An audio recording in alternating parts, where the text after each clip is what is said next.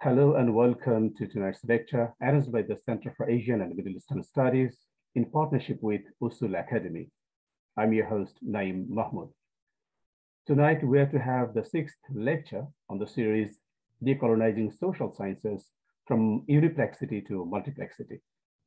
This is a seven-part lecture series that is taking place on a fortnightly basis. The series aims to understand contemporary social sciences in light of fifth the title of tonight's lecture is Studying Human Action, Fiqh and the Tasawwuf. The lecturer is Professor Dr. Rajab Şentürk, who is a distinguished lecturer and scholar in this field. Professor Dr. Rajab Şentürk is a professor of sociology at Ibn Khaldun University, Turkey. He served as the founding president of Ibn Khaldun University from 2017 to 2021. He was a researcher at the Center for Islamic Studies in Istanbul and the founding director of Alliance of Civilization Institute. He is the head of International Ibn Khaldun Society.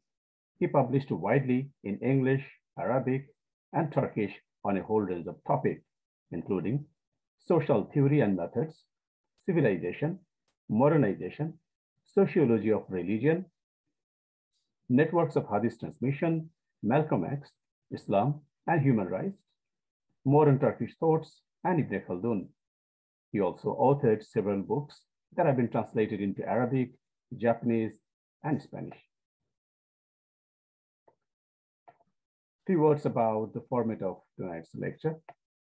We started with a brief introduction.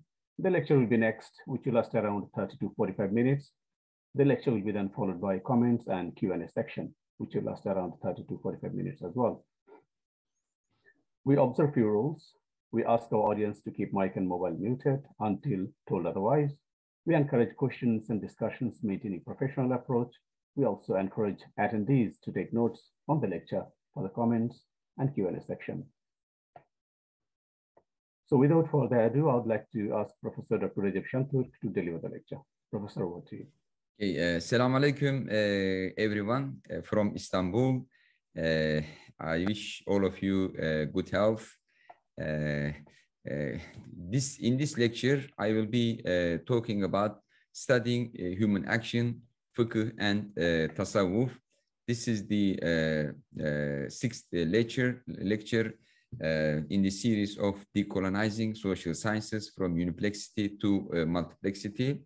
And uh, Uh, in this uh, lecture, uh, I will uh, talk about the uh, Islamic approach, the multiplex Islamic approach to human action, which is represented by fiqh and tasawwuf, and they complement each other.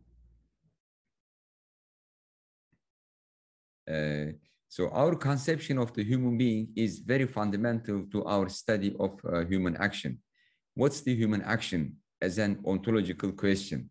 So there are uh, many uh, perspectives, but mainly there is materialist perspective, idealist perspective, and the multiplex uh, answer.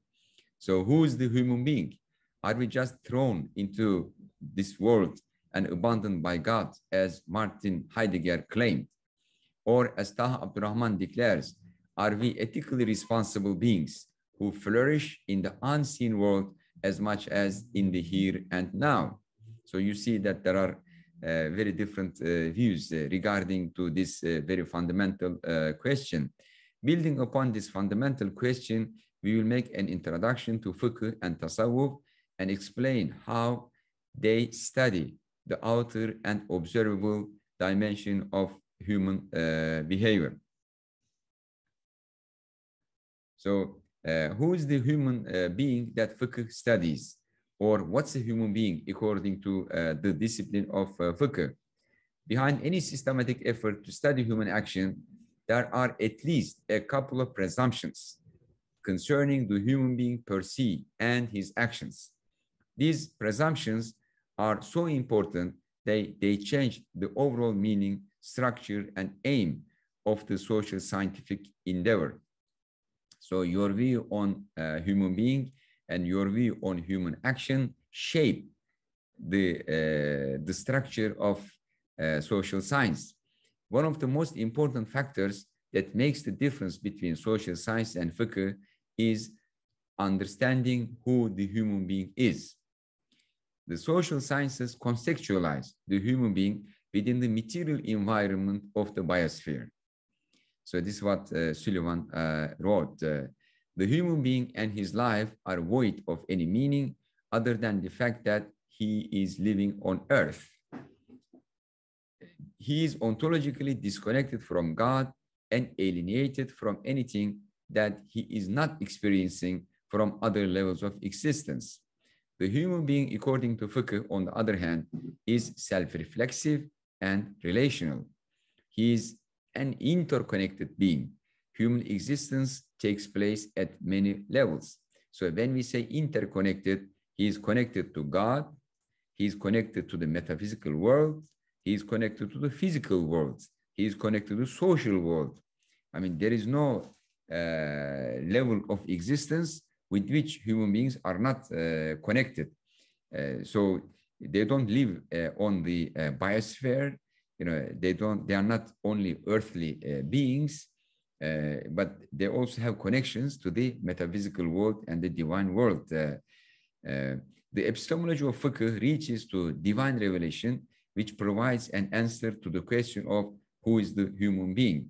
So we have already uh, talked about the Islamic uh, ontology, epistemology, uh, this multiplex understanding of existence and multiplex understanding of sources of knowledge. Now we are building, you know, step by step. Now we are talking about uh, the Islam's approach to uh, human being and his uh, action. for fiqh, the human being is a connected and interconnected creature while for the social sciences, man is disconnected. One of the most important issues about the self in the modern approach is its disconnection with the transcendent, where it actually finds a fundamental meaning. So disconnected from the uh, metaphysical and transcendental levels of uh, existence from modern materialist, uh, secularist uh, perspective. But uh, Taha Abdurrahman, who is a, a Moroccan philosopher, he, he's one of the great minds Muslims produced in the 20th and 21st century. So he wrote, the Islamic method governing modern differentiation rests on a fundamental fact, namely the human is originally a connected or interconnected creature, kain muttasil. It is in the nature of humans to even connect with worlds beyond time and space, the metaphysical world, which is what we call spirituality. And no matter how sophisticated science may be, the spiritual realm cannot be diminished by new scientific discoveries. It is no wonder then that the disconnected man, al-insan al-munfasil of Western modernity, finds the world to have lost all meaning, precisely because he has been disconnected from the world's secrets and wondrous workings the consequences of man losing confidence in the world have been immensely destructive. This disconnection has, in addition, led to the emergence of the phenomenon of extreme fear of death, because for this man, there is nothing that lies beyond this world. Uh, uh, so human being as the addressee of taklif. Uh, addressee here means mukhatab mukhatab of taklif. Uh, so Allah speaks to every human being. So uh, every human being is addressed by a human being uh, because Allah Ta'ala gives commands, responsibilities, and rights to every uh, human being. So every human being in fiqh is uh, considered an addressee of God because God speaks to every human being, man, woman, rich, poor, black, white, all of them, to explain to them their duties. And at the same time, God listens to all human beings when they uh, pray uh, to him. So there is a direct communication between God and human beings. Uh, to all human beings, regardless of uh, who they are. According to fiqh conception of human being, we all have God-given rights and responsibilities. Uh, Uh, as an Arabic term, teklif literally means the imposition of a task and entrusting a duty to someone. In fiqh, it uh, denotes the legal and ethical responsibility that an agent is required to uh, undertake. So every human being is called uh, mukallaf in uh, fiqh and mukhatab uh, of the uh, teklif uh, according to divine law. Allah Ta'ala outlines the duties and rights of every uh, human being. And the purpose of this uh, explanation is to make social world harmonious with the natural world. You know, make human action in harmony with the rest of the universe. Otherwise, uh, if uh, human action is guided uh, with uh, an ideology in, con- in contradiction with God's will, uh, which uh, regulates the whole universe, then there will be disharmony or even conflict with the order in the whole uh, universe. Uh, so that's why the order in the universe and the order of social life and the personal life, uh, if they are uh, regulated, organized according to the will of the creator of the universe, then uh, they will be uh, uh, harmonious. What's the relevance of teklif for the society, for the study of society? Uh, teklifs, as I have uh, mentioned, you know, uh, a requirement uh, by uh, Allah Ta'ala, uh, and every human being, according to fiqh, is called mukallaf. That means, you know, someone who has responsibilities and uh, duties uh, and rights. so the concept of teklif provides the meaning and context of human life on earth, in which their actions have a meaning. So this is what deist uh, reject. For deist, there is no teklif.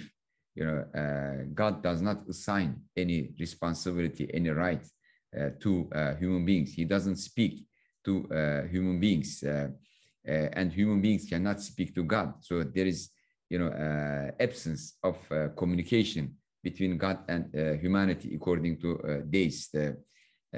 But from an Islamic perspective, and also from the perspective of all uh, religions sent by God, you know, uh, there is a constant communication between God uh, and uh, uh, every individual human being and society. And this is the meaning of teklif. So building on this concept of teklif, the whole spectrum of human conduct is governed by ilm al-fiqh and categorized according to its conformity to divine law under at least five major groups. Uh, so uh, uh, human actions uh, um, fall in one of these uh, categories, wajib, compulsory, mendub, praiseworthy, mubah, permitted, or neutral, uh, makruh, disliked, haram, forbidden. So there is no human action which is outside these categories. And here you see a multi-valued logic is used, uh, as I have explained in my previous uh, lectures. Uh, these are called af'al al-mukallafin, that means actions of the uh, mukallafs, uh, the responsible uh, people, the acts of the legally and ethically responsible persons. The responsibilities of human beings cover four major areas, responsibilities towards God, responsibilities towards his own self, and responsibilities towards society, and responsibility towards nature. Uh, Because as I have mentioned, a human being is a relational uh, being. Uh, so we have relations with God, relations on our, our own self, with society, and nature. Uh, zimma is an attribute of human being. So what's zimma?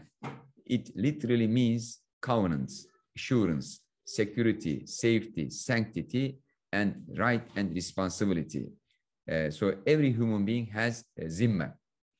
Uh, every human being has a covenant with God.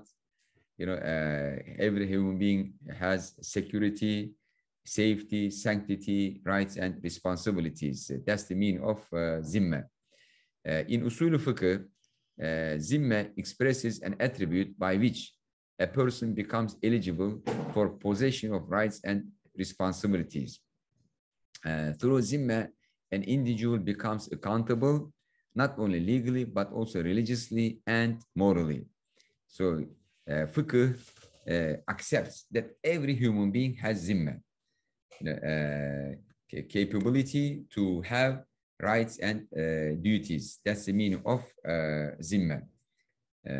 The Quran mentions two transcendent bases of the self, the covenant of man before coming to the world and amana, trust, which is given to mankind in order to be fulfilled in the world. Uh, based upon these two occasions, Islamic tradition propounds the notion of zimma in order to conceptualize the human self in the context of rights and responsibilities.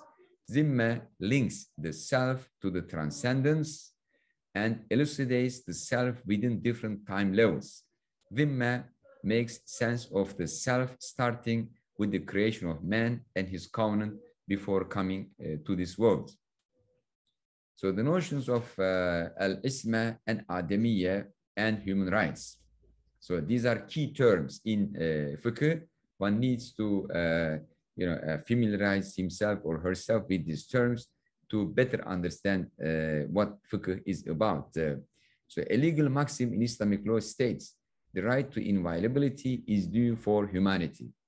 So isma means the right to inviolability, that every human being has right to uh, inviolability simply uh, for being a human.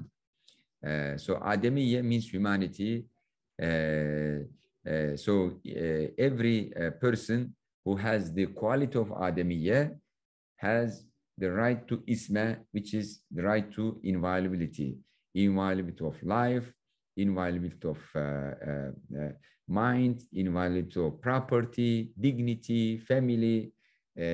so this for every human being.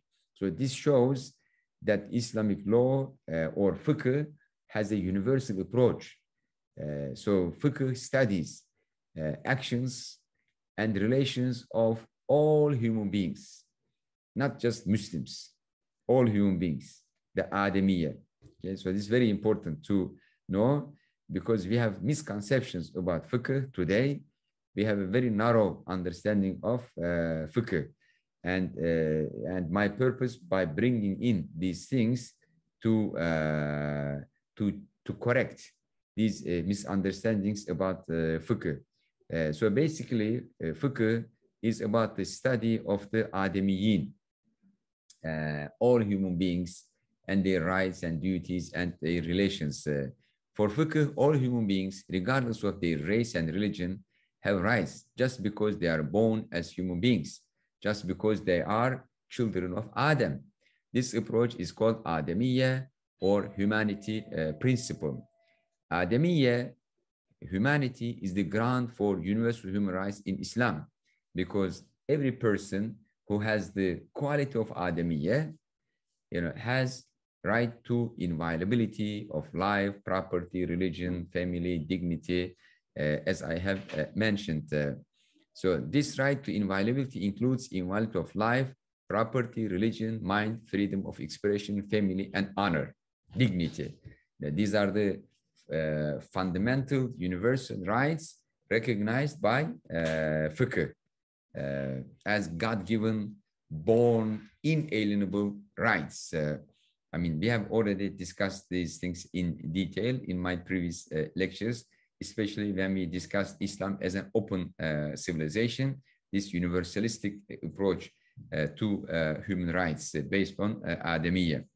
Thus, simply being human is sufficient to possess human rights regardless of the innate, inherited, and gained attributes such as sex, religion, race, and nationality.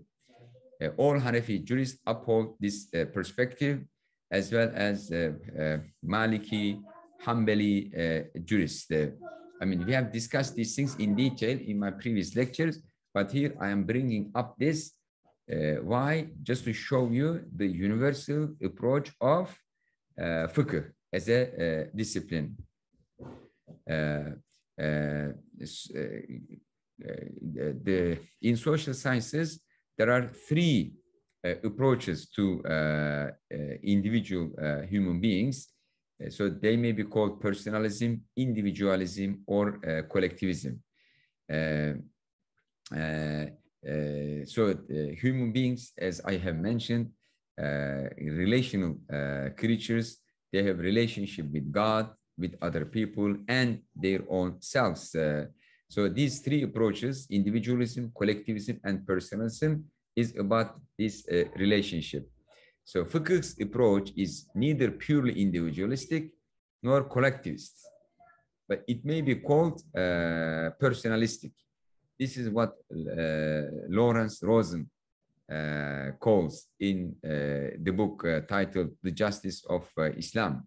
So personalism accepts that the individual is an interdependent being having intrinsic relationships with others, such as God and other people. Uh, it emphasizes the significance, uniqueness, and inviolability of the person, as well as the person's essentially relational and social dimension. Uh, how about individualist? So the, from the perspective of individualism, the individual life belongs to him and that he has an inalienable right to live to live uh, his life as he wishes, to act on his own judgment, to keep and use the product of his effort, and to pursue the values of his choosing. This is the individualist uh, perspective to a human being. How about the collectivists, uh, uh who are the opponents of uh, individualism? So they argue that the individual's life belongs not to him, but to the group or society of which he is merely a part, that he has no rights and that he must sacrifice his values and goals for the group's greater good.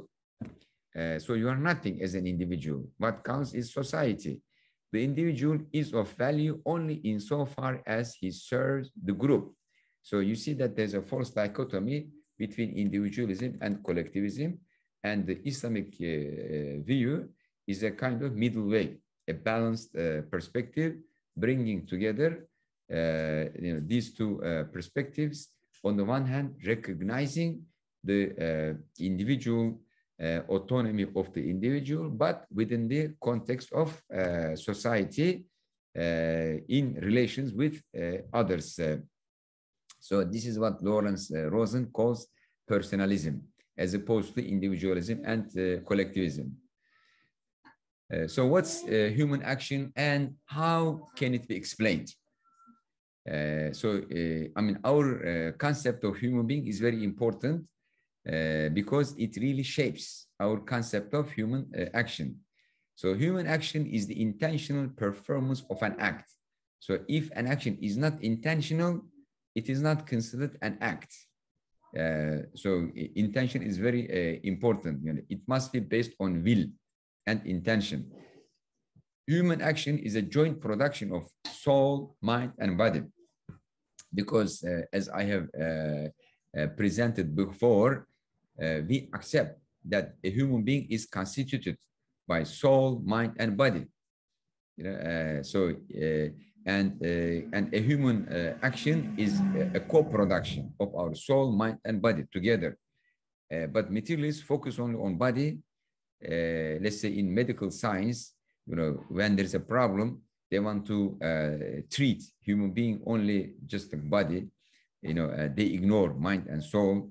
This is a big problem in medical science. a holistic approach is needed in medical science uh, to um, come up with uh, truly effective uh, treatments for human uh, illnesses. Uh, uh, and same with you know social sciences. so the materialist focus only on the body, the idealist focus only on the mind.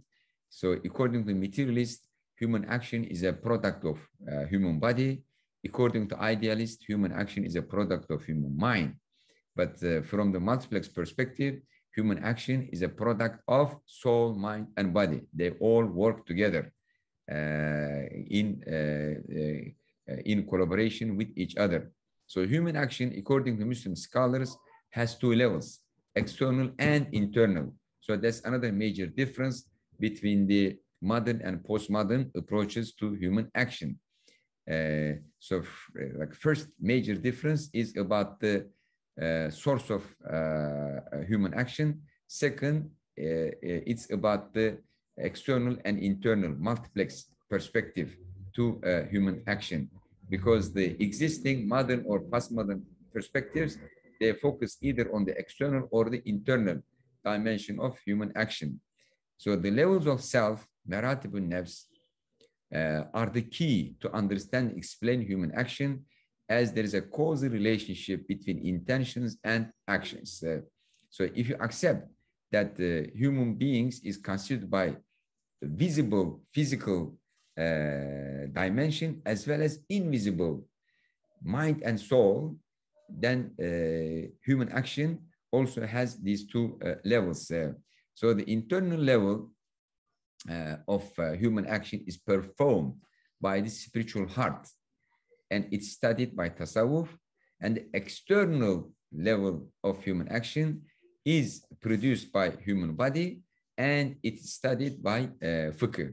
So you see that the, the levels of human uh, ontology is reflected on the levels of uh, human uh, action.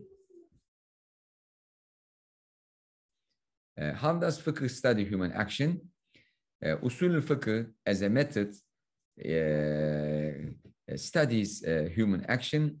The majority of contemporary studies exclusively focus on the statistical facts in the explanation of human action and society.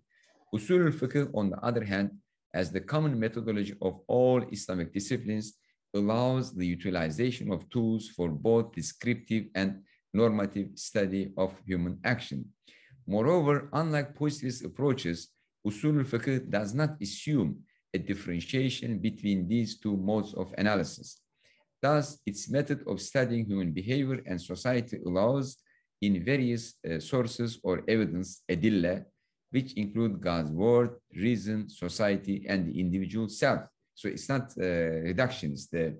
So in order to utilize these sources, a plurality of methods must be used. Uh, so you see here that the norms uh, and the uh, uh, you know norms in fiqh they are universal but at the same time relative. There are universal norms and relative norms in fiqh, and the sources of norms, you know, God, you know, source of norm through divine revelation and messenger of God and the sacred books and human reason is also a source of norms. Society is another source of norms and individual self is also a source of norms. Uh, in fiqh, you see, uh, fiqh does not rely only on wahi, only on Quran, only on Sunnah. Fiqh has multiple uh, uh, sources. I mean, human reason is a source, society is another source, individual self is another source, and the norms that are produced uh, by fiqh, sometimes universal, sometimes uh, relative and uh, and these norms uh, is about the relationships of an actor, uh, a human being, with society, with nature, and God. Uh, so this is a summary of the logic of fiqh, the structure of uh, fiqh. And so let me present you a case study about how uh, fiqh approaches you know, uh, human uh, actions. Uh, so let's say you want to make an inquiry on a medical issue. It is necessary to evaluate both medical evidence and the textual evidence simultaneously. You know, there is evidence evidence-based medicine, but fiqh is also evidence-based. Uh, uh, so you have to bring together evidence-based medicine and evidence-based fiqh uh, together on a medical uh, issue. Uh, because it's a medical issue, you have to uh, operate both fiqh and medicine together at the same time. however, its implementation requires an intricate method because both legal and medical evidence are fluid, not solid. In other words, their degree of certainty is variable. Uh, so in evidence-based uh, medicine, the uh, levels uh, of the certainty of the evidence changes from uh, A, B, C, D, depending on how much it is tested, how much it is studied, and how many cases used to uh, support it. Uh, uh, so if it's tested on, on a few people, it's like level D.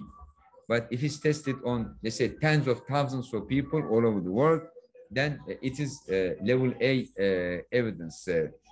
And the same thing in uh, you know, because the in fiqh, the level of the certainty of evidence changes Uh, uh, uh, depending on the depending on the authenticity as well as the uh, uh, indication uh, of the evidence. They said you are using Quran or Hadith, you know. so I mean, Quran is 100% certain with respect to the authenticity, but there may be uncertainty regarding indication of the verse in the Quran. But in Hadith, uh, the issue of certainty and uncertainty uh, emerges regarding uh, the authenticity of hadith as well as the indication uh, of the hadith. So it's a really uh, complicated uh, methodology to study a medical issue. So here, you know, this matrix shows that you know here you have medical evidence. It may be level A, level B, level C, level D, and then you have uh, fiqh evidence, and then fiqh evidence, you know, uh, kat'i and zanni. Uh, Q means kat'i, uh, Z means zanni, uh, uh, uh because uh, fiqh evidence, as I mentioned, studied from authenticity perspective as well as indication perspective. so if an evidence from Quran or Sunnah is uh, certain, uh, both uh, uh, with respect to its transmission as well as its indication, then it's 100% certain.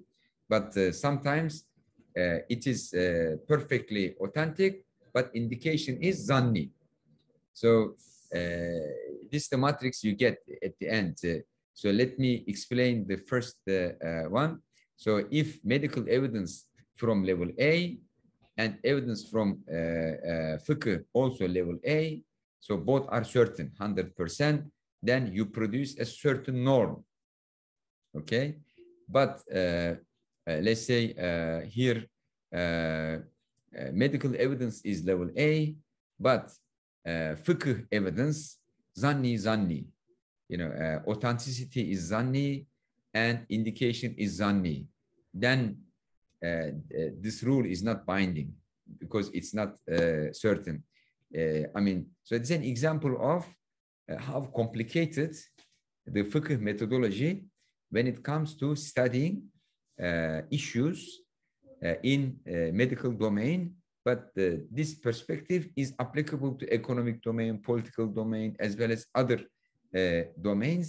So fiqh brings together empirical research on human actions as well as the uh, normative uh, uh, uh approach together and study together.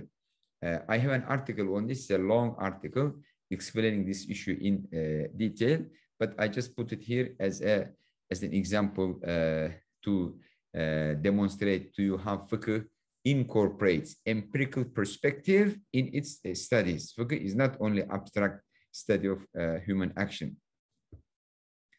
Uh, so the uh, as I have mentioned, fiqh studies human actions. All human actions are studied by uh, fiqh. And but when we say fiqh, I mean Eh, I don't mean the narrow uh, understanding of fiqh uh, today. I mean the fiqh as understood by Abu Hanifa, Imam Shafi, Imam Malik, Imam Ghazali, all these great scholars, which is very comprehensive. So the, their understanding of fiqh brought together fiqh al-batin, fiqh al-usul al-fiqh, fiqh al-akbar, and furu al-fiqh. These are the things that we have uh, discussed in our uh, previous uh, lectures.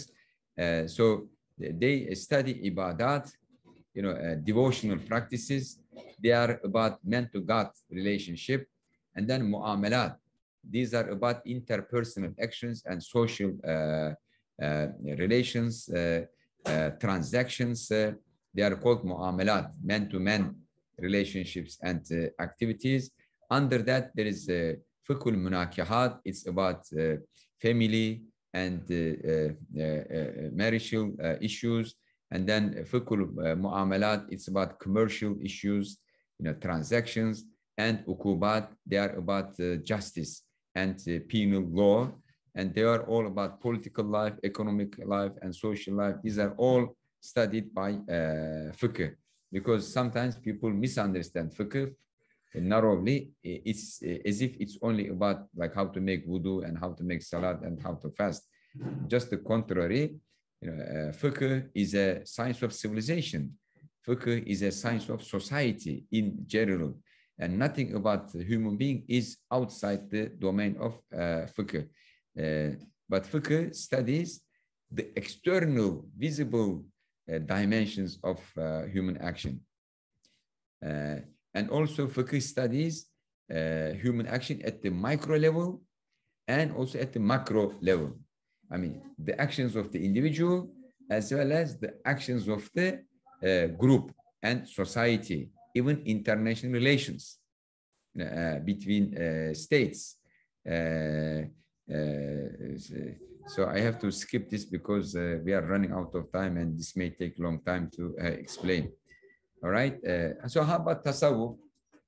So tasawwuf, uh, also known as uh, Sufism, but I don't like this, uh, you know, uh, term Sufism because uh, it looks like an ideology or philosophical current today, like a ism. it's not ism actually. You know, I think we should use original Arabic terms. so tasawwuf is a discipline by which we know the states of the soul or the spiritual heart, praised and reprehensible, and the ways to purify it from the blameworthy qualities and to beautify it with praiseworthy attributes. Why do we need to do this? To change human action. Because uh, human action originates uh, in the heart of a human being. So if you purify the heart, actions uh, will also become corrected and uh, reformed. Uh, so it's also called fiqh al-batin, you know, inner fiqh or the spiritual fiqh. So from this perspective, you know, fiqh has two branches. Fiqh al-zahir, you know, concerning the outer dimension of human action, and fiqh al-batin or tasawwuf, concerning the inner dimensions of uh, human uh, action. Uh, so the subject matter of tasawwuf is actions of the heart, af'alul kulub, in terms of purifying, uh, purifying it from blameworthy uh, attributes.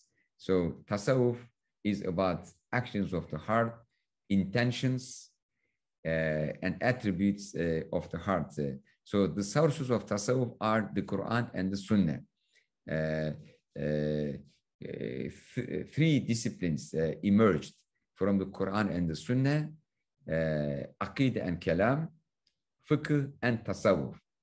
Aqidah and Kalam studies faith, articles of faith, Iman, and uh, fiqh studies amal, but external dimension of amal, and tasawwuf studies internal dimensions of uh, amal human action. So these three disciplines uh, emerged from the Quran and uh, the Sunnah, because in the Quran and Sunnah, they are all together.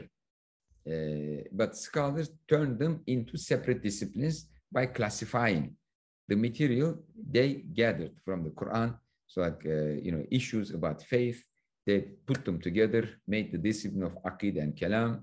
and the issues about uh, human action, relations, rights, duties, you know, transactions, punishments.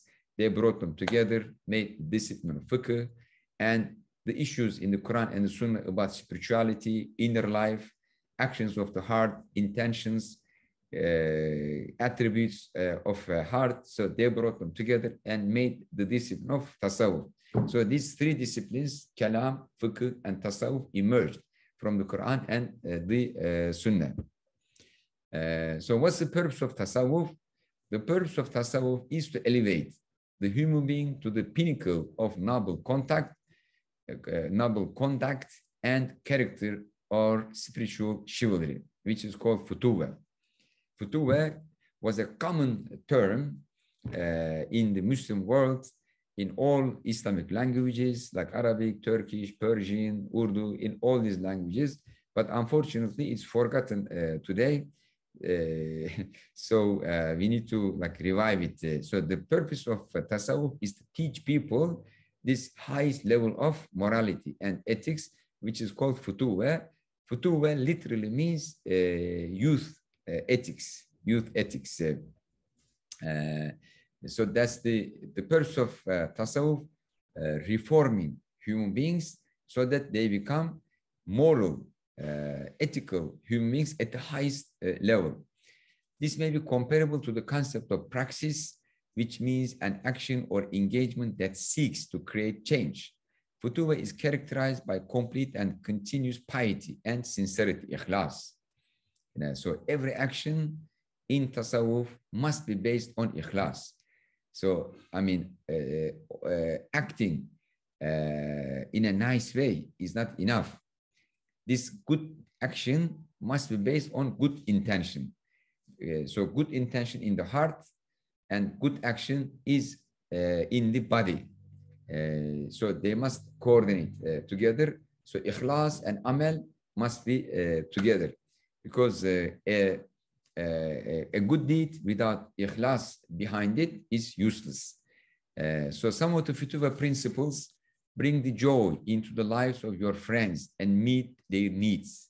So this is what's called ithar or altruism, other, otherishness. So futuwa ethics, which is taught by tasawwuf, is altruistic, otherish, not selfish, not egoist, just opposite. Uh, and this ethics, you know, is taken from the Sunnah of Rasulullah Respond the cruelty with kindness and do not punish for an error. Do not find fault with food offered to you. Keep your friends' interest at heart and care for your neighbors.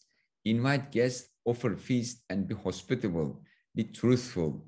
Instead of seeking the faults of others, look at your own faults.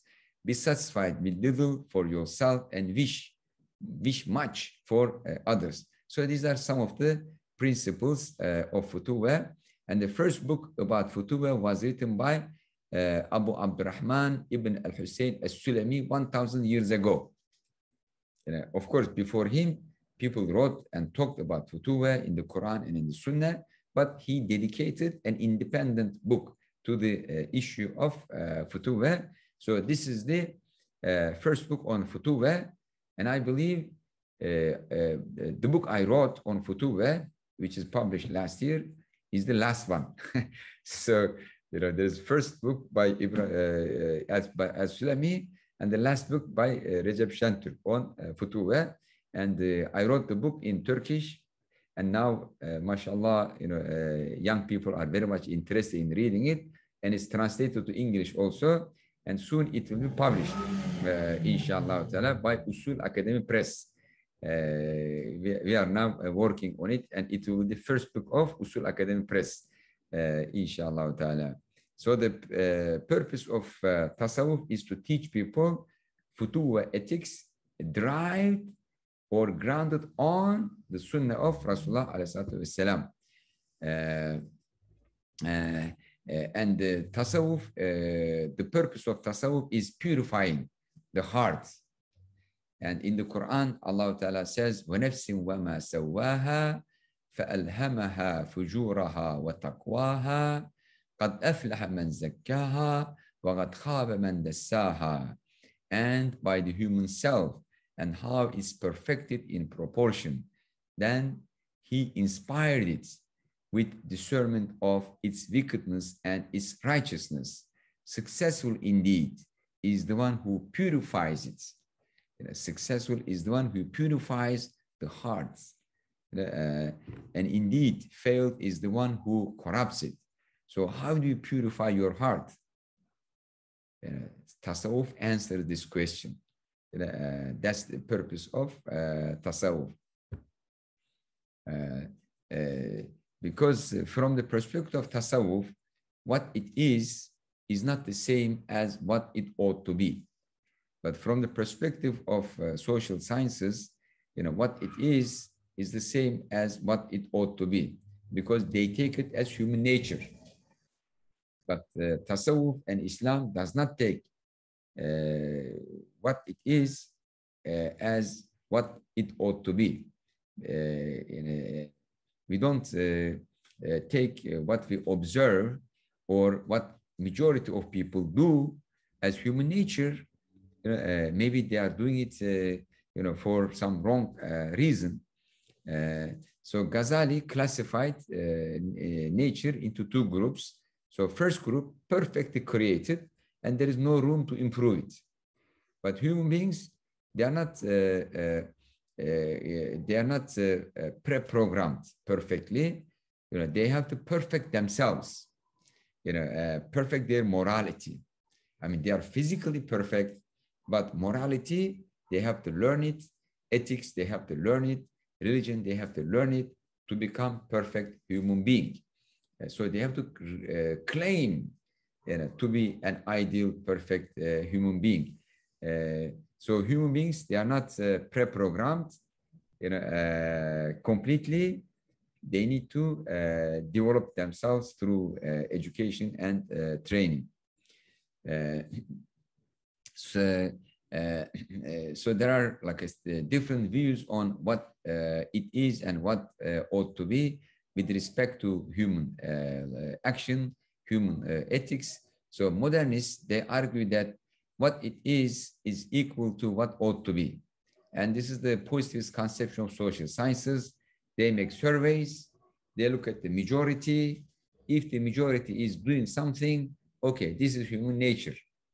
This is uh, what they uh, see. Uh, for the from the perspective of postmodernists, there is no is and there is no ought. We cannot say anything about you know, what a human being is or what a human being ought to be. You know, they deny uh, these things uh, in reaction to uh, modernism. But from a multiplex uh, perspective, what it is is not the same as what ought to be. You know, this is a critical perspective. We critical approach to society. Even majority, you know, uh, does something, it may be wrong. Uh, so uh, in order to study this, uh, we developed a, discipline, it's called uh, Hikmah Amaliya, and one has to learn Tedbir al-Nafs, Tedbir al-Manzil, and Tedbir al-Medina, managing the self, managing the household, and managing the uh, city uh, to improve them, to bring them to the level of what they ought to be. And what they ought to be must be based on justice justice at the individual level, justice at the family level, and justice at the city uh, level. So according to uh, uh, a human being is constituted by soul, mind, and body. Uh, so the soul is constituted by two elements, two faculties, uh, reason and self, the uh, hedonistic self, or in Arabic, akıl and nefs. And they are in uh, constant conflict with each other. so these are the two faculties of the soul. So tasawwuf is mostly uh, focused on the soul, the inner life, inner conflicts, uh, inner actions of uh, a human being, in particular the heart. Uh, and the conflict of akal and nefs in the heart, their uh, relationship with uh, each other. And the ultimate goal is to make akal the king or the ruler of our inner life. and establish justice and balance and harmony inside of us. That's the purpose of uh. So from this perspective, uh, from the perspective of tasawwuf, there are uh, three types of self. So uh, type 1 self, type 2 self, and type 3 self. In the type 1 self, nafs is dominant, akal is subjugated. In the type 3 self, akal is dominant, nafs is subjugated uh, to it. So the ultimate goal of tasawwuf education or tasawwuf training is to elevate a person from type 1 self to type 3 self. Uh, but there is a transitional stage. And in the transitional stage, you know, uh, there is uh, a conflict going on between uh, and nafs. Neither one is uh, uh, permanently dominant. So sometimes, you know, one acts according to the dictates of akal, and sometimes one acts according to dictates of the nafs. Eh, so eh, in tasawwuf, this is called uh, siyasatul qalb, politics of the heart. You know, in politics, there are opposing powers, and you have to control them. And and the and the righteous one must be the ruling power. So the, from this perspective, reason, akal, should be the king, the ruler, and the nafs should be the servant of the uh, of, of, of. Uh, but in type 1 self, you know, akal is the servant and hedonistic self is the king, the ruler. so, so type 1 self is called nafs amara, uh, and the type 2 self is called an-nafs al-lawama, and type 3 self is called the content self, and nafs al-mutma'inna. So mod modernist and postmodernist, they accept type 1 self as natural. You know, they think this is human nature, but this is not true. You know, uh, from Sufi perspective, uh, human nature is reflected in type 3 self, you know, uh, uh in which reason is the uh, dominant power and uh, nafs, passions, desires are subjugated to it, and only then one becomes content and happy. Uh, and uh, as I said, the goal of uh, tasawwuf education is to elevate a person from type 1 to type 3 uh, self. Uh, um, uh, depending on the type of the self one has, his attributes and his actions change. in type 1 self, you know, people swing between extremes, you know, either coward or aggressive, you know, either stingy or extravagant, you know, uh, but uh, type 3 self uh, uh, uh reflects the golden mean. Uh, so courage is between cowardness and aggression. Generosity is between stinginess and extravagance. so this balance, the goal of uh, Tasawwuf education is to create this balance between the two uh, extremes, al-i'tidal. And uh, this is how uh, a person become happy. You know, the purpose of Islam and the purpose of fiqh and the purpose of tasawwuf to make a person happy in this world and in the next one. That's the ultimate goal. And what kind of inner life you need to have in order to become happy? You uh, need to have a balanced life, you know, uh, between the extremes. Then you become uh, happy. That's the answer of uh, tasawwuf. But materialists, they say, you know, uh, just uh, go to the uh, go to the direction of the material desires, and those idealists, you know, Christians, you know, Buddhists, Hindus, they say, you know, completely kill your desires but Islam establishes this uh, balance uh, between them. All right. Uh, uh so how does Tasawwuf study human action from a multiplex uh, perspective? From this perspective, the ultimate control center of a human being is the soul, which is also called the heart and the self. Okay, so the ultimate control center is not the brain, as we are taught, you know, from a materialist perspective. It is our soul. It is our spiritual heart. You know, it is above the brain. You know, the brain controls the body, but the brain is controlled by soul, by spiritual heart. Many social theories agree that intentions determine human behavior while they neglect what motivates the intentions. Okay, what's the origin of intentions?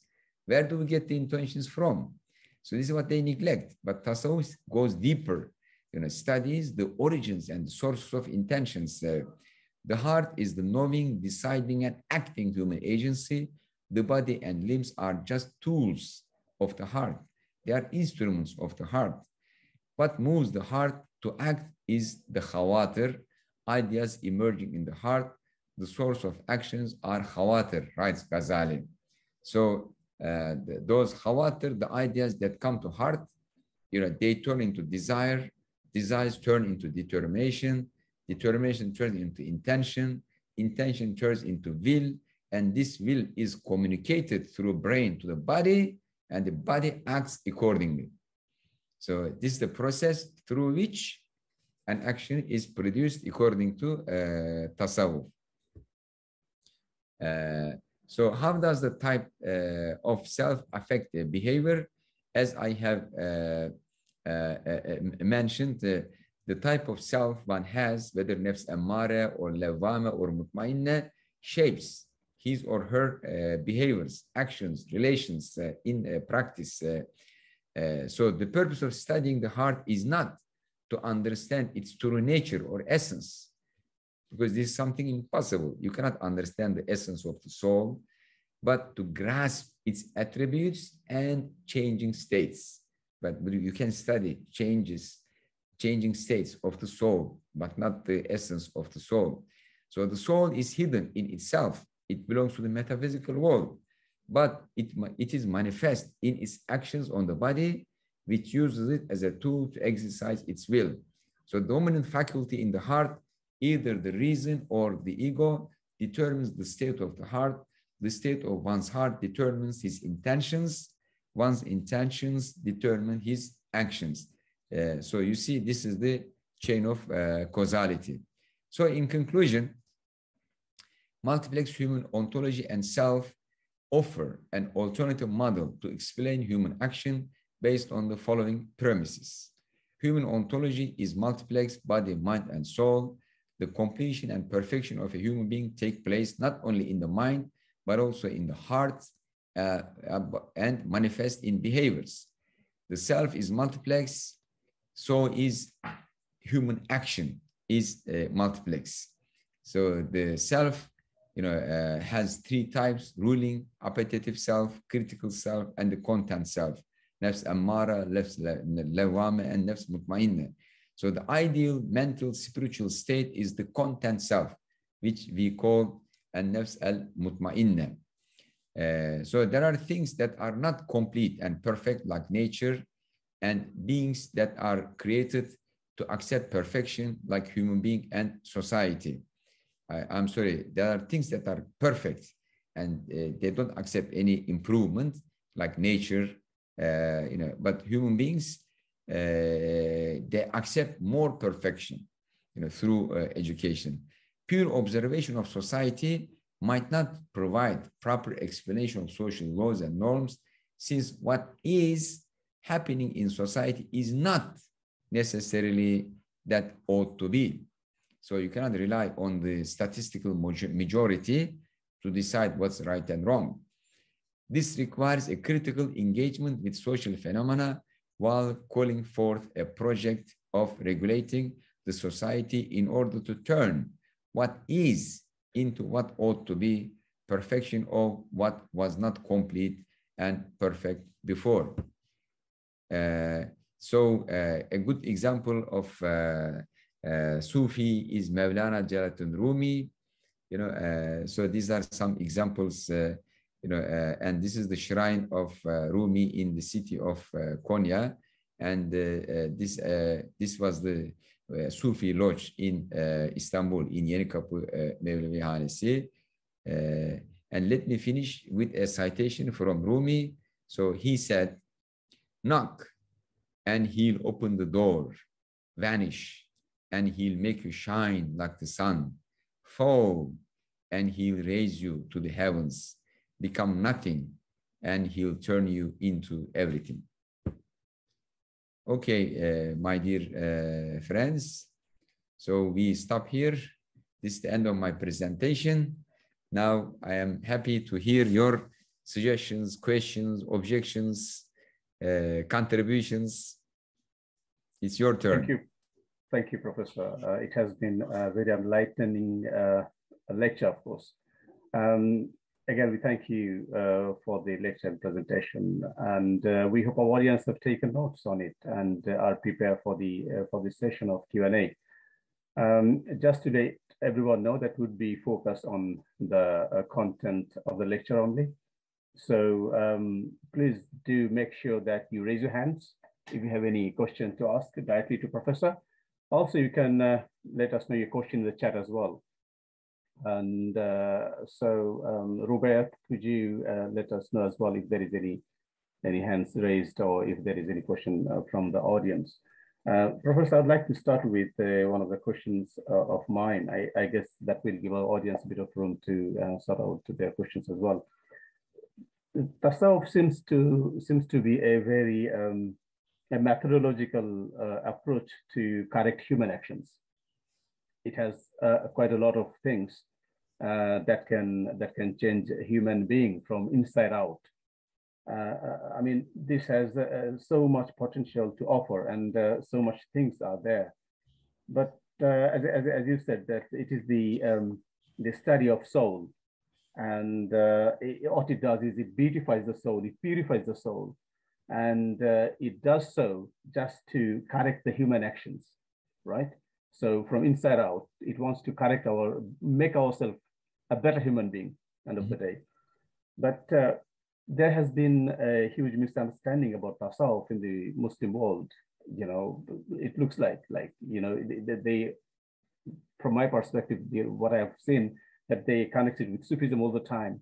And there's some negative connotation with tasawwuf and Sufism. I mean, how do you see it? I mean, uh, is that is, is, is that been tasawwuf has been really appreciated by the Muslim world at the moment, or is it's a bit not that much? Yeah, why uh, there's misconception? You think? Yes, uh, yeah. Thank you. Uh, this is a very important uh, question. Uh, as you have mentioned, tasawwuf has a critical approach to human behavior, actions, and relations in order to reform it, correct it, improve it. But in order to be able to do this, you have to first understand what's human action, what are the sources of human action. Okay, so Tasawwuf does this. Uh, so he ha has a, a, theory of human action, like uh, what's human action, what are the causes of human action, and how does it emerge. Uh, uh so there is a theory of uh, human action but behind this, uh, you know, as a foundation, there is a theory of uh, human being. What's a human being? Okay, so you know these are all connected with each other. So uh, uh and from this uh, uh, approach, fiqh, kalam, and tasawwuf they complement each other. You know, from a multiplex perspective, they complement each other. So fiqh studies the external dimensions of human action, while uh, Tasawwuf studies the internal dimension of uh, human uh, action. So you need to first understand, you know, uh, what's uh, human action is about.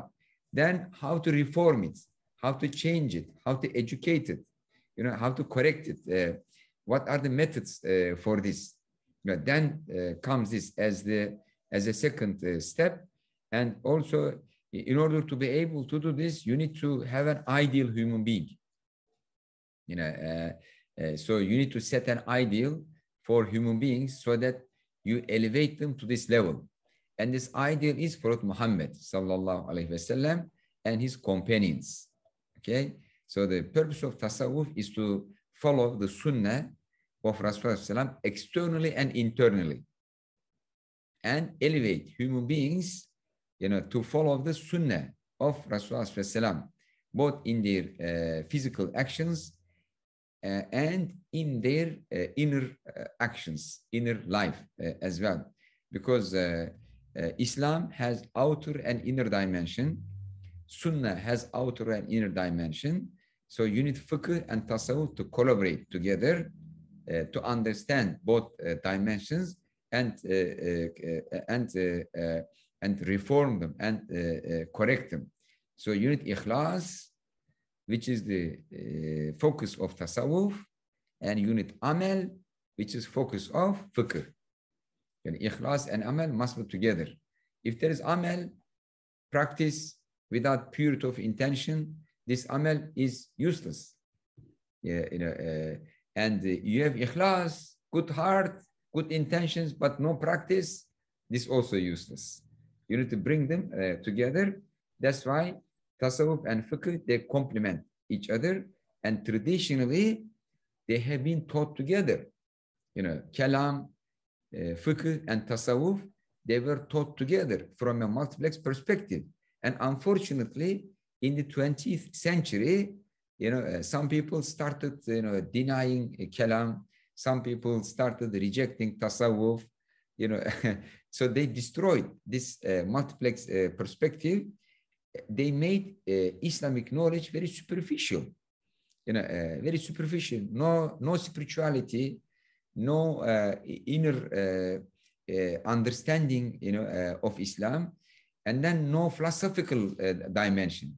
So they they rejected the philosophical dimension, and they rejected the spiritual dimension. Then what are we left for? Left with just a legalistic, you know, do's and don'ts this is not Islam.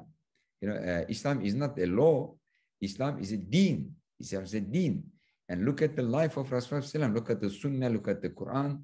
You see that there is a deep philosophy, deep spirituality, as well as this uh, deep normativity uh, of the uh, physical uh, actions, social relations.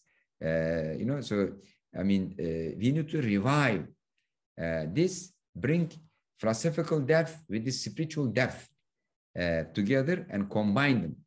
Uh, so Alhamdulillah, you know, this survives in Turkey, Alhamdulillah, you know, uh, but in some countries, you know, they made a big mistake by rejecting philosophy and rejecting tasawwuf. Now they cannot resist against modernity and postmodernity because they have no deep, deep thinking. You know, how can you uh, resist uh, postmodern thought or modern thought you have no kalam, no philosophy, no tasawwuf. You have only very superficial understanding of Islam, you know, very legalistic, dry uh, understanding. How can you oppose those trends? You know, uh, so basically they undermine their own uh, religion, but uh, they were, uh, you know, illusions, you know, to have a pure Islam. You know, uh, and they thought tasawwuf doesn't belong to Islam, kalam, philosophy doesn't belong to Islam. All what we need is just rules, do's and don'ts. You know, this is a very simple, very superficial understanding of, uh, of religion. And also it's a treason to our intellectual tradition. It's a treason, you know, to uh, our multiplex, sophisticated, holistic uh, uh, civilization and uh, you know intellectual uh, tradition so we need to revive this, inshallah ta'ala. Uh, uh, uh, and I, I, recently see that, you know, they are also disillusioned from this superficial understanding of Islam. Now they are searching for alternatives. but some of them, they leave Islam and they go to the Western side. They become atheists. Hafazan Allah. You know, uh, uh, and uh, unless you bring in this philosophical and spiritual depth, depth, you know, depth you know, uh, you cannot protect your youth uh, from getting uh, deceived Uh, by these, you know, uh, modern and postmodern, uh, you know, attractive philosophies and currents. So uh, thank you so much, Professor, for that uh, elaborated answer. Uh, I'll go to the questions at the chat session in a minute, but I've got, got another questions for you, question for you, which is, do you think the modernity and the colonial uh, period during the time of colonial era in the Muslim land, they have kind of destroyed the spiritual part of Islamic education. And their emphasis was uh, more of a kind of structural level, as you said. Islam is all about superficial because we, if we look at the leadership in the more in the uh, in the Muslim land, uh, uh, and their ethics, their manners, and their attitude in most cases is materialistic. I mean, there's yes. hardly any there is hardly any space for spirituality, you know, uh, kind of stuff there. So there's a huge lack of that kind of um, spirituality overall. So mm. do, you, do, do you blame modernity for that? Do you blame any uh, Western discourse or their approach and their you know, handling with Islamic education kind of stuff? Uh, I mean, uh, yes, of course. Uh, I mean, the imperialists, the colonizers, they uh, should be blamed, you know, for many of the wrong things, you know, that are taking place in the Muslim world. But primarily, we should blame ourselves why we were allowed, you know, why we allowed ourselves to be deceived, to be fooled, to be manipulated by them. We should be smarter, you know, uh, to protect ourselves, you know, uh, and not allow ourselves to be manipulated, you know, uh, misguided uh, uh, by them. so let's put the blame first on ourselves, then on colonizers and the, you know, the imperialists and Orientalists and enemies of Islam. And as Malik bin Nabi says, if there is a society uh, ripe, you know, uh, ready to be colonized, there will come some people to colonize them you know, uh, so we should have been like more alert uh, to this. So uh, even today, you know, I mean, like we do, you know, many mistakes, and you know, we need some kind of nafs lawwama, the critical self, you know, you know, self-blaming, you know, approach uh, to uh, our our own mistakes so that we can correct them and move on rather than putting the blame on others. Uh, That's very interesting. So you want us to look at ourselves rather than looking outside, blame other other yes. people and other civilizations or yes, yes. Other, so I other, say, other I always say what matters is what we do, not what others do. Okay. So look at what you do. This is what matters most. You know, uh, very interesting. Yeah. Very important. Let's go to, um, I think we have a hand raised over there. Um, could you please uh, uh, unmute yourself and raise the question, please? Hi, assalamu alaikum. Alaikum uh, Yeah, my name is Dunya, um, and I just uh, joined the lecture. I was listening in. Um, I was kind of laughing just now when you were describing uh, how people you know come from a very uh, legalistic and very like black and white kind of deen. i would say like i was kind of from those people um, like when i was first introduced to islam my first journey to islam when i started practicing i came from like i was in that kind i was in that exposure so it was very very like rules rules rules i didn't have any spirituality it was just like you know, religious and I was just, I didn't understand any of my worship. You know, I didn't have my heart in my worship. I was just like so scared and so fearful of Allah that I just did all of my duties, you know. So I've just been recently following and, and opening myself up to other lecturers and other people talking about Islam. Uh, and I find so much more peace in it um, so I just wanted to ask you, Professor, like, what advice do you have for me, um, considering I'm new on this journey and I'm just exploring and, um, yeah, basically, what what advice do you have for me? Yeah, I mean, my advice to you have this multiplex perspective, the balance between philosophical dimension, legal dimension, and the spiritual dimension. Okay, so we cannot sacrifice do's and don'ts, don'ts you know, I mean, they have very important role to play, and nor can we sacrifice the spiritual dimension.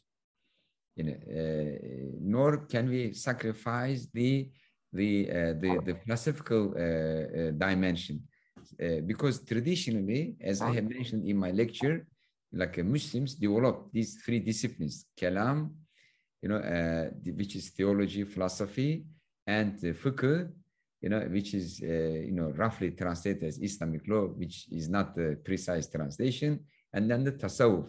So you need to bring them uh, together uh, in your in your life from a holistic uh, perspective, uh, because sometimes people focus only on spirituality, they neglect uh, rules and norms. This is also wrong. You know, uh, just tasawwuf and uh, purity of the heart, uh, good intentions. You know, uh, I mean, our ultimate uh, role model is Prophet Muhammad sallallahu alaihi wasallam. Follow his sunnah. You know, and all these disciplines, kalam, fiqh, tasawwuf, all of them, is to help you better understand the Quran, better understand the sunnah of Rasulullah والسلام, and put them in uh, practice. Uh, and but you may not be uh, uh, able to do these things uh, alone by yourself. You know, uh, you may need like a guidance and help of a scholar or somebody who knows these things. You know, to help you gradually learn these things. You know, in order without overburdening yourself and enjoying uh, your journey. Islam is fun. You know, Islam is cheerful. You know, uh, Islam, as I have mentioned, you know, is given to us to make us happy, not to torture us, not to make our life uh, boring. You know, uh, I mean, uh, Islam is the most fun thing, uh, you know, in the world if you properly understand and if you properly practice it. So. Uh, may Allah help you and give you best success to learn it in a balanced way and enjoy it. Islam has halawa, the taste, you know, halawatul iman, the pleasure of iman. You know, may Allah help all of us to experience the halawatul uh, iman uh, in hadith. Uh, Prophet Muhammad said, you know, iman has halawa, pleasure, taste. You know, this is one of the things we lost. Uh, you know, uh, during modernization and westernization of our understanding of religion and uh, turning religion into something legalistic only. So we need to bring in this, this spiritual joy and the pleasure dimension of Islam as it's mentioned uh, in the uh, in the hadith and in the Quran, inshallah ta'ala. Thank you so much. Thank You're you, welcome. You are welcome. Okay. Thank you for your question. Uh, right. Now, if you go to the chat, we see um, we have Sophia uh, commented and actually uh, made a question. She said, "The Futwa ethics similar to uh, Nicomachean ethics? Is Futwa ethics similar to that? Um, Is Futwa ethics similar to Nicomachean ethics or something?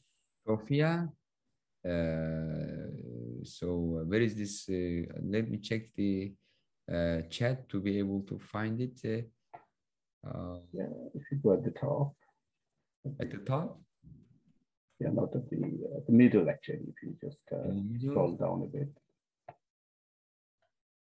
Um, um, I, uh, could you please, okay, read, uh, I yeah. could not locate it. what's the question? Yeah, Can I, Assalamu alaikum. Alaikum salam. Please, have, go ahead and ask your question. Yeah, I was just wondering if it's similar to Nicomachean ethics or what um, is the difference? Hmm. Uh, uh, there are similarities. Yeah. There are similarities uh, because uh, akhlaq or ethics yeah. has been taught by messengers of Allah all over the world. Yes. That's why, you know, humanity shares common ethical values Mm. Like you have ethical values the same in Japan and in America, in Africa, Latin America, everywhere. Yes. Uh, and they, because they have like a same origin, which is uh, divine revelation. Mm. Uh, and uh, like a samurai culture is the same with Futuwa, and chivalry is the same with Futuwa, uh, and Nicomachean ethics also, you know, many similarities. Mm. and so, because of this common divine origin, there are mm-hmm. many similarities in like Muslim ethics and, and ethics taught by Greek philosophers like Aristotle. Yes. in, in Japan, you know, uh, Shinto, you know, uh, it's because of this. Uh, and there is nothing wrong with this. I mean, uh, we are very happy to see that uh, you know, uh, many people in the world and in history shared the values Prophet Muhammad والسلام, taught. Because Prophet Muhammad والسلام, did not say, I brought to you something completely new. Yes. That indeed. مُصَدِّقًا لِمَا بَيْنَ يَدَيْهِ To Yeah. confirm the teachings of the previous masters. Mm, Uh, because from Adam alayhi salam up until today. So there is nothing wrong, you know, if you see uh, commonness or similarity between the teachings of the Quran and the teachings of Prophet Muhammad wasalam, and teachings of our scholars with previous philosophers, mm, previous uh, religious masters from Japan to India to China. Like, uh, I mean, you read Confucius, very similar to Sunnah, right? Yes. uh, and the uh, Bushido, very similar to Futuwa. And in Africa, same things. uh, uh, and this is clearly mentioned in the Quran. "Musaddiqan lima yadayhi." You know, uh, you know, in the Quran, it says to confirm, to confirm uh, what uh, was brought uh, before you. Uh, Indeed. so this is not surprising uh, for us. And as uh, as Muslims, we have been open you know, Mm. uh, to teachings, uh, you know, or the philosophy of Greeks, you know, uh, Persian, Indian, uh, as long as, you know, they overlap with our own uh, teachings and i- i- there is no reason to reject them or uh, deny them. Okay. Jazakallah. Thank you. Jamian, Jamian, inshallah. Thank you. Thank you, Sophia. Um, there is a question actually uh, in, in, it, in the chat uh, which says that uh, tasawwuf, um, I mean, there is a self-help industry, we know that. And um, that talks a lot about personal development and how to bring out the best from oneself. But uh, um, but can that be uh, can uh, be you know used in that case and uh, you know can it uh, do that kind of job you know in, in helping us out uh, bring out the best to be best in this world and hereafter Yes, of course. uh, this is the purpose of our religion. You know, uh, like, and our religion, in order to improve, you know, human beings, educate them, train them, you know, make them uh, better human beings, has tools. Like a kalam is one tool, fiqh is another tool, tasawwuf is another tool. You know, uh, these tools uh, are derived, you know, uh, from the Quran and Sunnah. They originate from Quran and Sunnah. As I said, you know, scholars classified material depending on the subject. You know, uh, so uh, so these tools, all of them must be used together from a multiplex perspective. You cannot rely only on tasawwuf. You know, you cannot rely only on fiqh. You cannot rely only on kalam. You have to use all of them together uh, to better understand the Quran and Sunnah and put it in uh, practice. Uh, uh, so tasawwuf alone uh, cannot be sufficient, you know, uh, for us. We have to use all of them, and and actually in this modern and postmodern world, there is no other way, you know, to protect yourself from this, you know, uh, uh, from this, uh, you know, uh, uh, devious uh, uh, uh, currents, which is very confusing and misleading. You know, uh, I mean, these are just illusions you know, and people are kind of, you know, uh, captured, captivated, you know, by the uh, attractive uh, discourse produced uh, by them, and uh, and you cannot protect yourself uh, from these uh, discourses except, you know, you rely on these disciplines and learn deeply kalam, fiqh, and tasawwuf, all of them together, as well as how they were implemented in our history. Otherwise, you, you know, you cannot resist, uh, and our youth cannot resist, you know, this these strong uh, confusing currents. Uh, So yeah, there's related questions uh, as well. I mean, how does a modern person navigate uh, to tasawwuf? For example, we know uh, our education uh, is quite different uh, than what tasawwuf actually teaches us. So how could a person uh, start? Where should a person start? How can he start the journey? What do you what do you suggest? Where can Yes. someone start? I mean, uh, you know, tasawwuf? yes, uh, you know, uh, traditionally, all Islamic disciplines they were taught by uh, teachers, both kalam, fiqh, tasawwuf, you know, we had like education institutions, the madrasa, the Sufi lodge, you know, like we had institutions, you know, to properly uh, teach things. Uh, but unfortunately, today we don't have those uh, institutions. And, uh, you know, there are some uh, charlatans, you know, who abuse, you know, tasawwuf and, you know, they are merchants, you know, try to make money or like pursue their uh, you know personal interest by using uh, Islam and in particular tasawwuf, you know because uh, this Sufi thing, you know, like very folkloric and very interesting in this postmodern like new age stuff, etc. You know they try to turn tasawwuf into a profitable, uh, you know, uh, feel good uh, business. you know, so one has to protect himself, you know, from falling prey uh, to these merchants. Uh, uh, you know, they are businessmen rather than like a real Sufi sheikh or scholar of Islam. but these wrong examples should not blind us from seeing the truth of the matter. I mean, now, you know, we have charlatan uh, medical doctors, we have charlatan businessmen, we have charlatan, you know, politicians, but we don't ignore you know these domains completely you know uh, so there is like bad and good in every domain. So in the, the domain of tasawwuf also is the same and you have to be careful and our ultimate criteria is the quran and the sunnah the authentic sunnah you know, uh, of rasulullah that's why i emphasize that you keep kalam fiqh and tasawwuf together. You know uh, if you just focus on tasawwuf you can you may easily be get misguided you know and deceived. You know, you know, you have to keep the aqidah intact, amal intact, and then tasawwuf. Uh, and a true master of tasawwuf, a true scholar of Islam, always keeps these three uh, together in the service of Quran and Sunnah, you know, not disconnected uh, uh from them. Uh, uh so you need to find like uh, someone who can educate to give guidance you know, in these uh, issues to learn, because as I said, we don't have the well-established institutions today in these areas, and you have to be careful, you know, against those charlatans, you know. Thank you, Professor. We're nearly at the end of the uh, uh, session tonight. Um, if anyone has any specific questions, uh, could you please raise your hand? And then I think we'll be able to uh, uh, take that and uh, take it to Professor.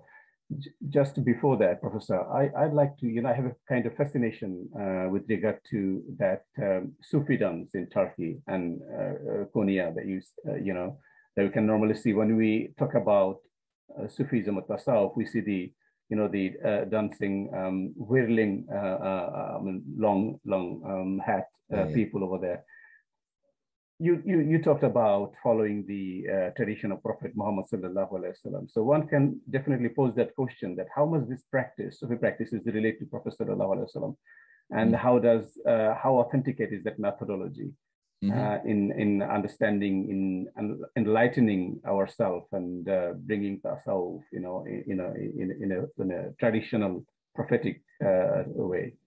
Mm -hmm. Yes, uh, I mean, like I was in Konya you know, uh, and some people said, today we have a Sufi show.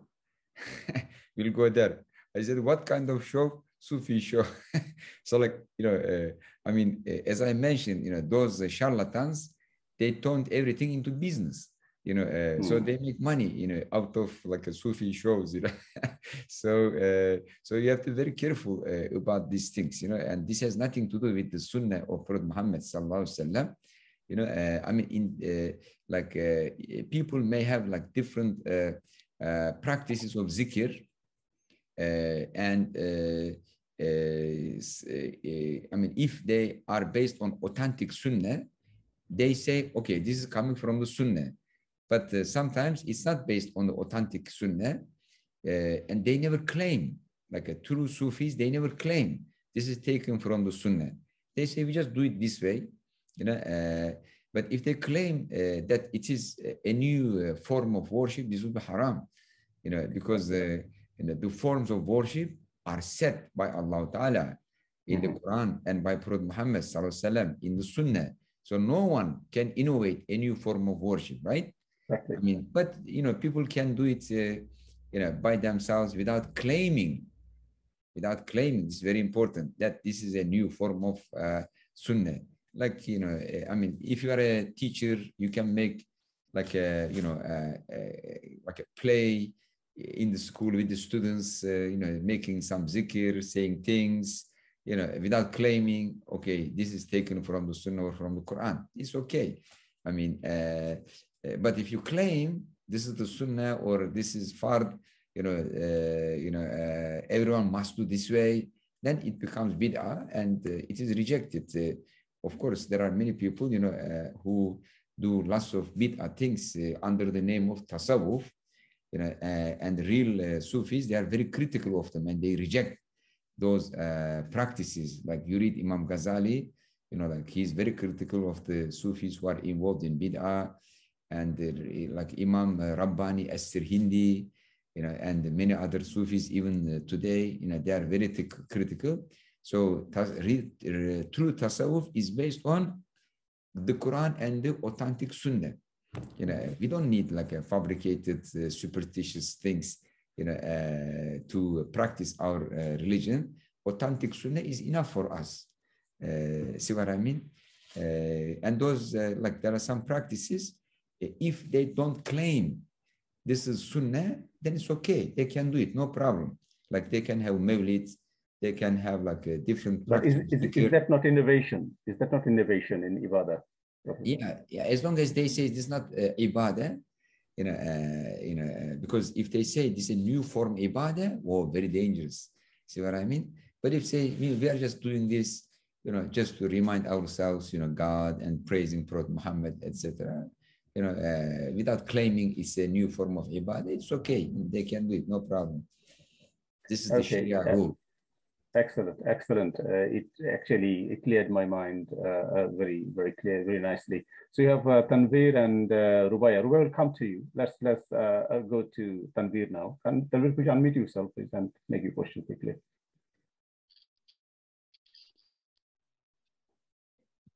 Yeah, go ahead. Right, can't hear, hear you. Yeah, go ahead. Right, there's a problem in the audio. Maybe we start with Rubaiyat. Uh, into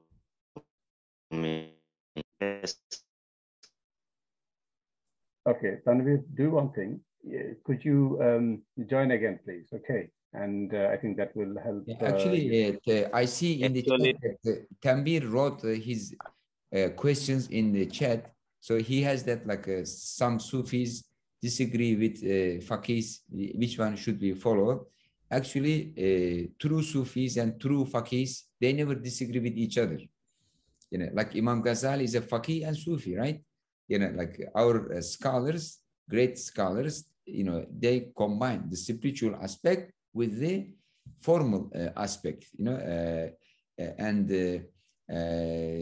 so if there is a disagreement, that means, you know, uh, either one of them is wrong, you know, uh, or they don't understand the uh, issue uh, at all. Uh, so better to stay away and find somebody who combines fiqh and tasawwuf together.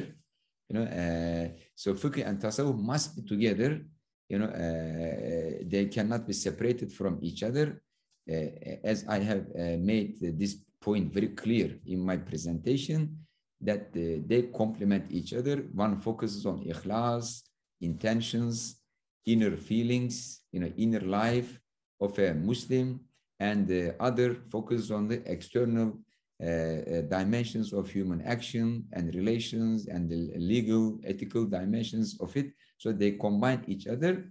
And uh, if some people, you know, created a conflict between them, that means they don't understand the system.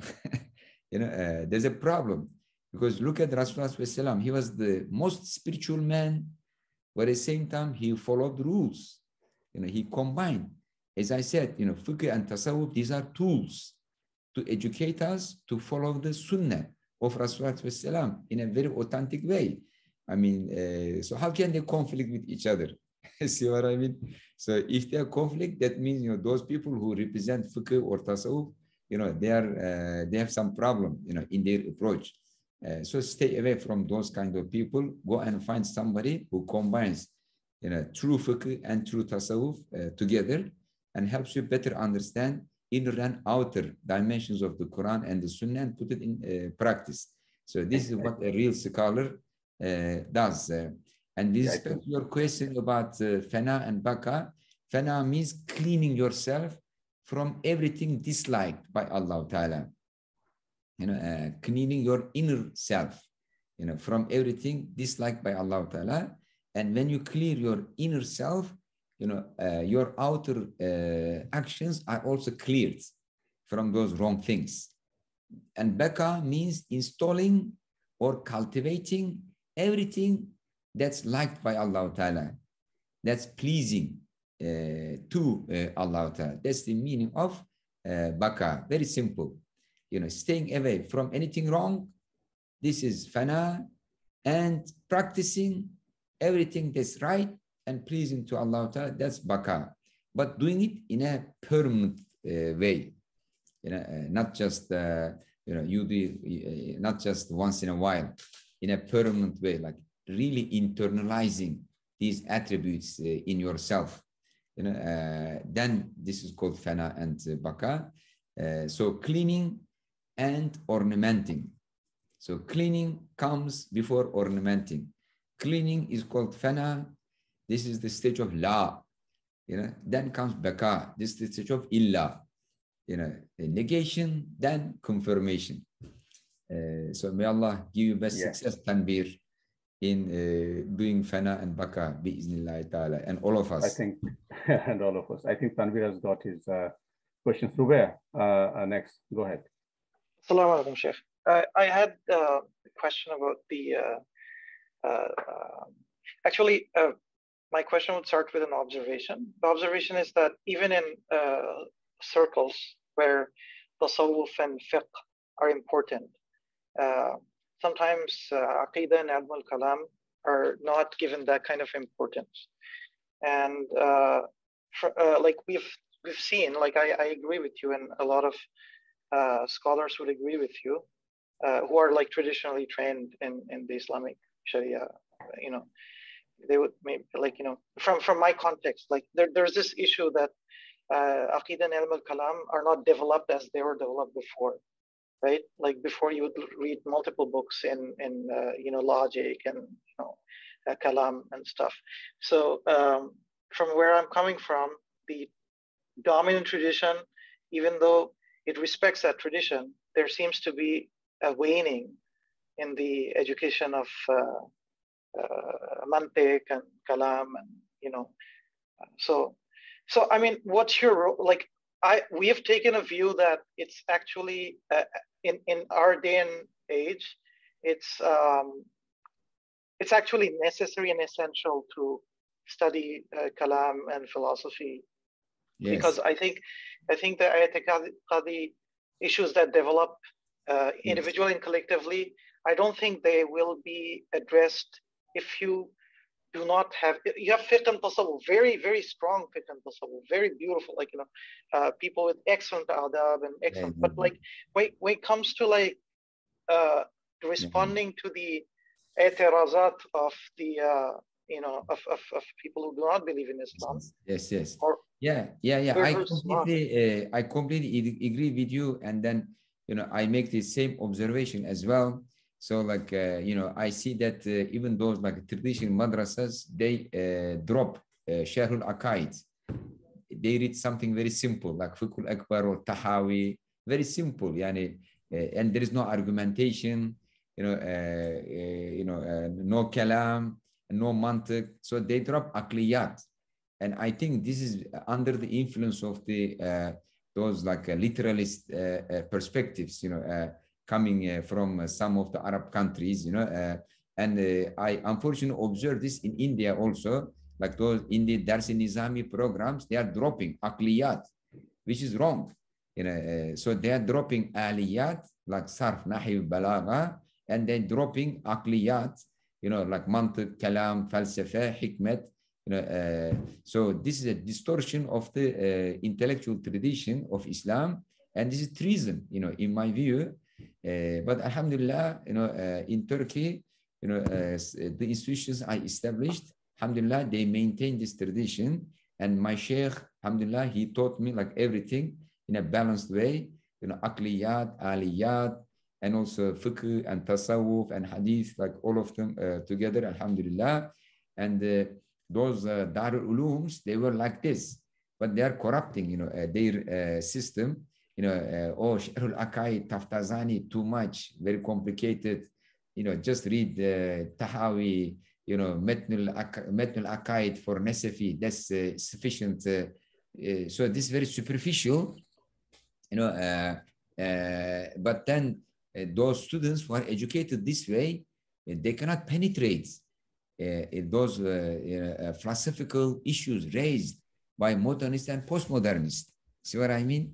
Uh, so like, uh, you know, Sharhul Aqaid begins, there is truth. There is truth. And like some people think, why waste your time proving that there is truth?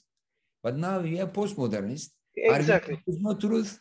See, you know, how important it is. This is the karamat of those ulama, you know, who started the Aqidah book with this uh, sentence as the first thing. Then you need to read Sharhul Aqaid to equip the student. So when he comes across with such a claim, oh, he's ready. He's immunized. He has all the arguments to refute it. Uh, and the same way, well, ilmu biha mutahakkikun. You know, we can know reality. There is reality and we can know reality. So if they come across with an agnostic, they have all the uh, all the arguments to argue uh, against it. Uh. So Alhamdulillah, now, you know, we follow this uh, in uh, Usul uh, Academy. Usul Academy curriculum, you know, uh, is the uh, is the is very loyal, you know, uh, to the traditional Islamic uh, teaching uh, and my education, you know, in the West, in America, in the Western world, this like sociology, modern philosophy, etc. You know, it made me better understand the logic of our traditional educational system. It's very sophisticated, very complicated, but you know, a superficial approach doesn't understand, appreciate like why these uh, elements are there. So they say, oh, more mantik, logic, useless. We don't need logic. Come on, you need logic. You know, they say we don't need all these philosophical discussions. They are useless. No, no, no. You, you need all these you know, uh, philosophical uh, discussions. Uh, uh, and uh, I just gave the example for them. So we should never uh, abolish aliyat and also akliyat. Like with respect to aliyat, like uh, sarf, nahib, balagha, you know, I, I, I learned importance of balagha in Masjid Nabawi. You know, I also Wow. used to think, I also used to think that like uh, too much uh, uh, time is wasted, you know, teaching students this aliyat, sarf, nahib, and balagha. You know, I was thinking our scholars, teachers exaggerate. But when I was in uh, Medina, there was a preacher, you know, uh, reading a poem and making takfir of the poet. Because the poet says, Oh, Muhammad, you are the light of our hearts. And the Sheikh was saying, See, he said light. Prophet Muhammad is not light, he's human being. he's kafir. you know, you know, I said there I understood importance of balagha, yani literary arts, you know, uh, figurative speech, me- metaphorical speech, and all uh, all uh, students of Islamic disciplines must learn balagha, so that you know they they they wouldn't uh, you know become like this sheikh, you know, uh, you know, because the, the, the poet doesn't mean he's really light. You know, uh, he means something else. But this guy, it seems he did not study majaz, he did not study kinaya. Subhanallah. So, Alhamdulillah, you know, we are maintaining this approach in Usul Academy. Uh, uh, and inshallah, our students will learn uh, both aliyat and akliyat. And actually, graduates of uh, some of those schools, they come to Usul Academy, we tell them, you, you have already studied, you have completed your Islamic education, but they say, we have never learned akliyat and aliyat, so we need uh, these things.